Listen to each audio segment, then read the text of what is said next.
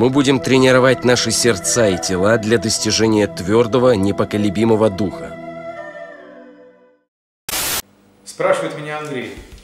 Упражнения по набиванию в парах нужно делать на каждой тренировке или вообще не делать набивку?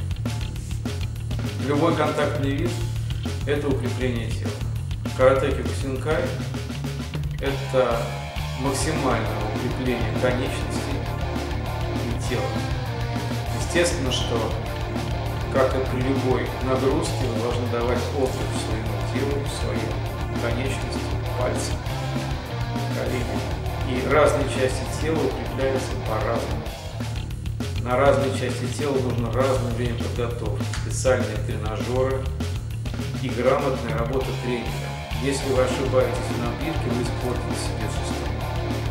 Если набивка идет по программе, с хорошим качеством, естественно, вы сможете делать серьезные выходы вперед. Но простой пример. Также личные качества человека. Однажды, будучи курсантом военного института, я поехал на картошку. В СССР это было принято, что люди собирали картошку.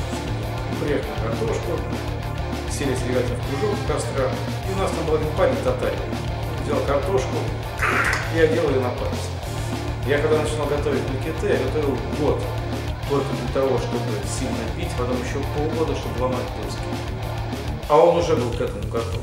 Поэтому момент таков. Если вы видите человека, если вы опытный тренер, то кому-то вы посоветуете это делать. Именно вот серьезное укрепление. А для кого-то это просто не нужно. Но то, что в карате Кибусинкай нужно готовить конечности тела, это обязательно.